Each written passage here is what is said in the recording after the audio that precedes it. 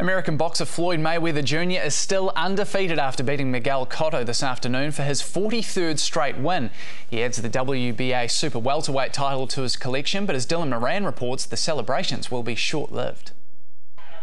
The man they call Money believed he could win a promised $37 million purse, but for now he was happy with 50 cent.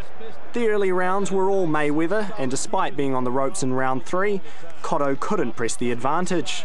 He's standing straight up right now, and Cotto still can't get through. In the fourth, Mayweather set to work on Cotto's left eye, landing punch after punch.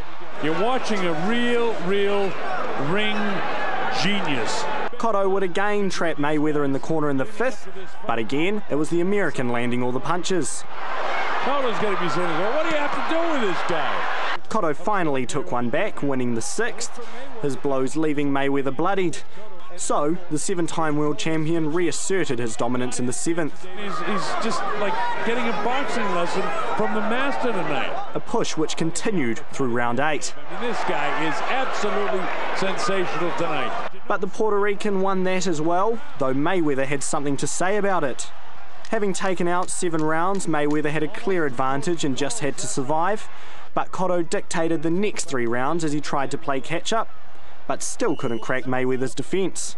He wound the clock down in the 11th, so it was going to take something special from Cotto to win. In order for Cotto to win this fight, he'd have to knock this guy out, and it ain't going to happen. And he couldn't. Mayweather winning on judge's decision.